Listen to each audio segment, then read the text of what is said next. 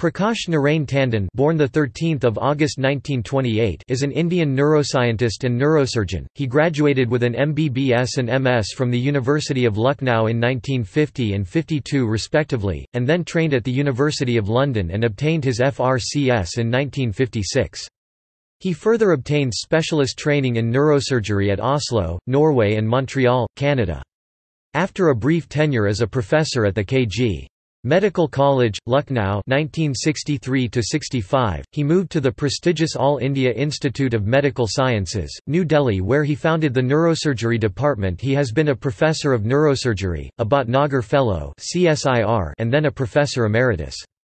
Tandon, an elected Fellow of the National Academy of Medical Sciences, was the President of the Indian National Science Academy in 1991–92 and has been awarded Padma Shri and Padma Bhushan by the Government of India. Tandon also serves as the President of the National Brain Research Centre Society, Manesar, Haryana, India. He is a member of the Norwegian Academy of Science and Letters.